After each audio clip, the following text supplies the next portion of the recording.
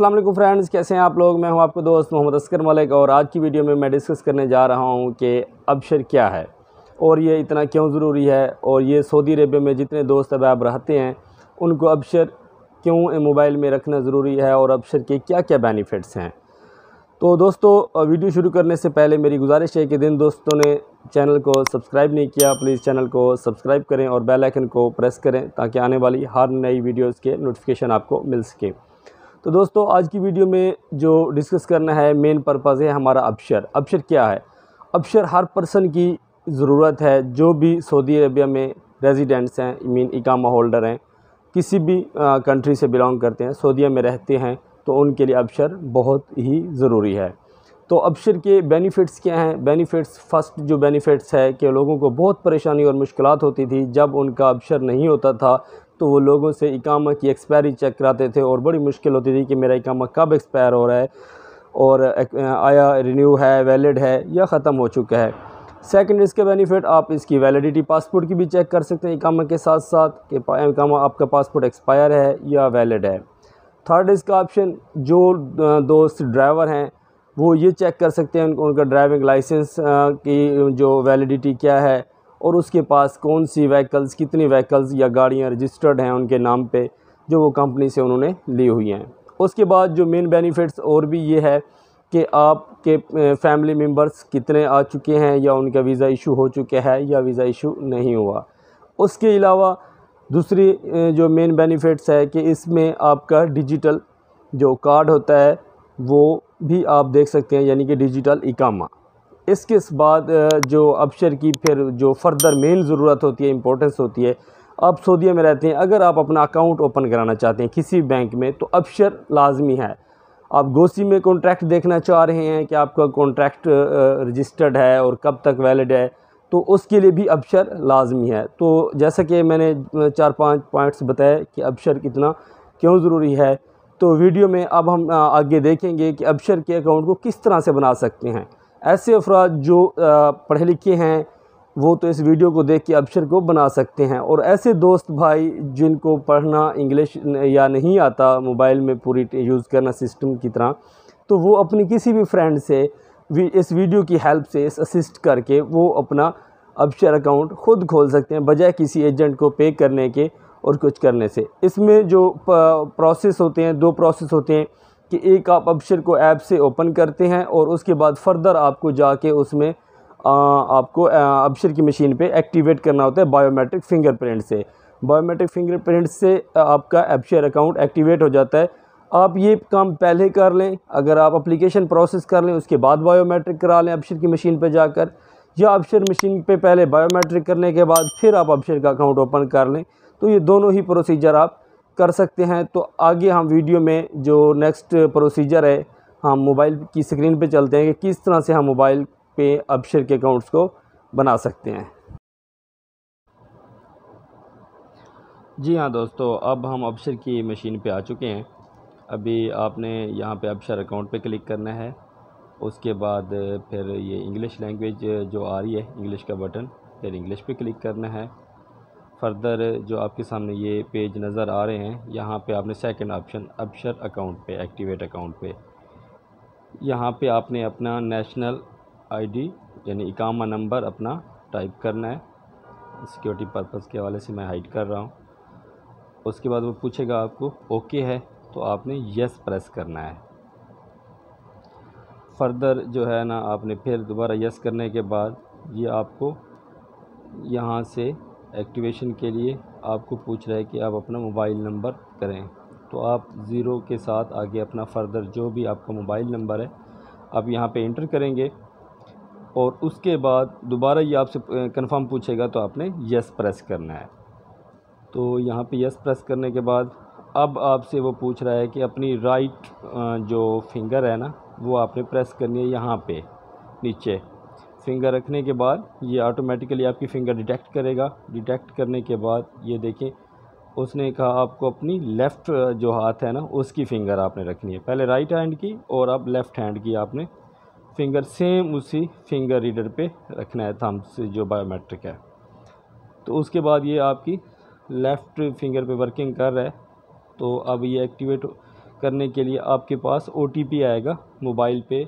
वो आपने O T P यहाँ पर एंटर करना है। ये जो प्रोसेस होता है, इसमें आपको अपना ओ टी पी यहाँ पर लाजमी देना होता है। अब हम वेट करते हैं ओ टी पी के आने का। तो मेरे पास ओ टी पी आ चुका है तो मैं यहाँ पे टाइप कर देता हूँ ओ टी पी अब उसके बाद कंफर्म कर रहा है तो फिर आप यस प्रेस कर देंगे। अब यहाँ पे आपने थोड़ा सा जो इन्फॉर्मेशन है ना, इसको ड्रैग डाउन करना है। और टिक के निशान करना है कि आई एक्सेप्ट जो टर्म एंड कंडीशन है उसके बाद एक्टिवेट पे क्लिक कर देना है आपने। यहाँ से दोस्तों जी हाँ देखिए आप देख सकते हैं कि आपका यहाँ से जो अबशर मशीन है उस पर आपका अपडेट हो चुका है। बायोमेट्रिक आपकी कंफर्म हो चुकी है। होगा? अब जो नेक्स्ट प्रोसेस होगा हम लोग उसको स्टार्ट करेंगे जो हमारी एप्लीकेशन है उसमें यहाँ से हमारा जो प्रोसेस था मशीन पे अबशर पे आके करने का। फिंगर्स अब हम एप्लीकेशन पे चलते हैं। यहाँ पे आपने गूगल क्रोम में अबशर ओपन कर लेना है, जो फ़र्स्ट लिंक आ रहा है अबशर लॉगिन का। इस पर हम क्लिक करेंगे। ये आप मोबाइल में जो गूगल क्रोम का एक फ़ीचर होता है वेब ब्राउज़र होता है, उस पर ये आप सर्च करेंगे। तो अभी ये सिस्टम में मैं इंटर कर रहा हूँ। अक्षर टाइप किया है मैंने। अब यहाँ से आप ऊपर से भी कर सकते हैं, या लेकिन न्यू रजिस्ट्रेशन फ़ीचर पे भी आप क्लिक कर सकते हैं। ऊपर से मेन वेबसाइट खुलेगी, यहाँ पे आप क्लिक करेंगे न्यू यूज़र रजिस्ट्रेशन जो भी न्यू यूज़र्स हैं, वो अपनी रजिस्ट्रेशन अवसर पे इस प्रोसेस के ज़रिए वो करेंगे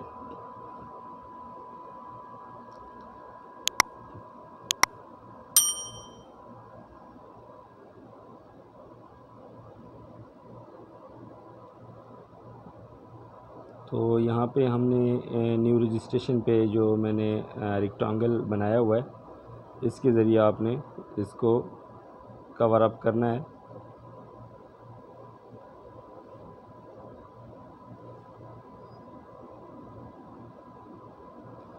अभी मैंने उस पर क्लिक किया, वो नेट स्लो होने की वजह से थोड़ा सा डिले हो गया।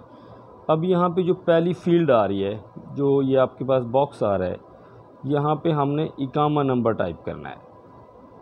ये जो मैंने रिक्टेंगल एक बनाया है, इस एरिया में आपने अपना आईडी या इकामा नंबर वो टाइप करना है। नीचे आपने मोबाइल नंबर टाइप करना है।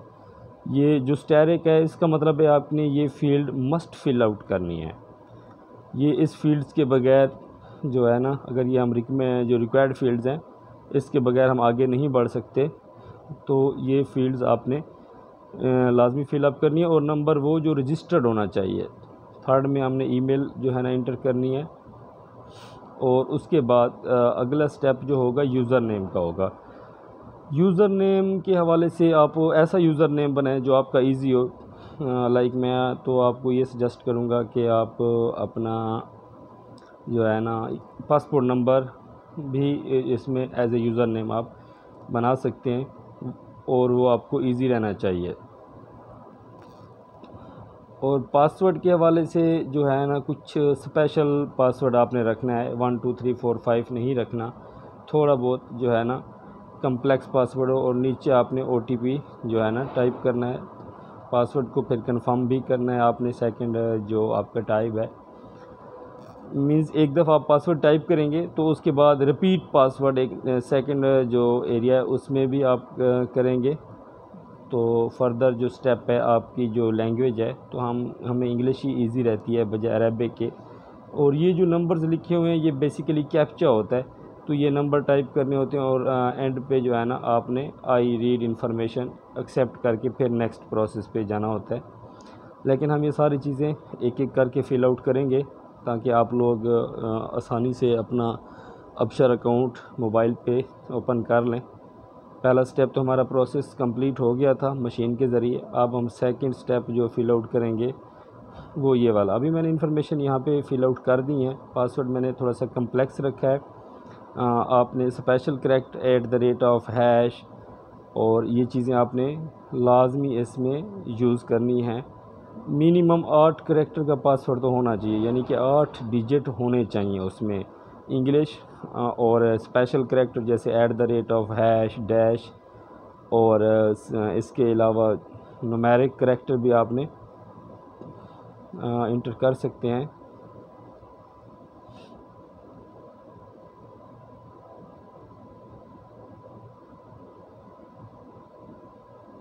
बल्कि इसमें मैंने यूज़ नहीं करना स्पेशल करेक्टर क्योंकि वो जो है ना इसमें रिकमेंड नहीं कर रहा। तो मैं इसको नहीं टाइप करूँगा क्योंकि ऐसा ना हो कि फिर ये मुझे एरर मैं पॉज करके इसको करेक्ट कर लेता हूँ वीडियो को।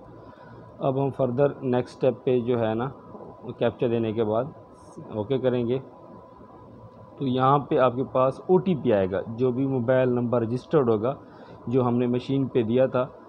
तो वो आपके मोबाइल नंबर पे कोड आएगा तो वो कोड आपने यहाँ पे इंटर करना है। तो मेरे पास आ गया मैंने, at one one seven enter किया है। उसके बाद यहाँ पे आपको लास्ट पे ये बताएगा कि आपका यूज़र अकाउंट सक्सेसफुली हो जी हाँ दोस्तों, अब हमने पूरी वीडियो में ये सीखा कि किस तरह से हम अब शेयर अकाउंट बना सकते हैं। तो ये आप इस वीडियो के स्टेप्स को फॉलो करके आप ख़ुद घर पे बैठ के अपना अब शेयर अकाउंट ओपन कर सकते हैं। और बहुत ही ईजी स्टेप्स हैं। एक से दो बार वीडियो को रिपीट करें तो आपके ये कंसेप्ट क्लियर हो जाएँगे। फिर आप किसी दूसरे को भी हेल्प कर सकते हैं।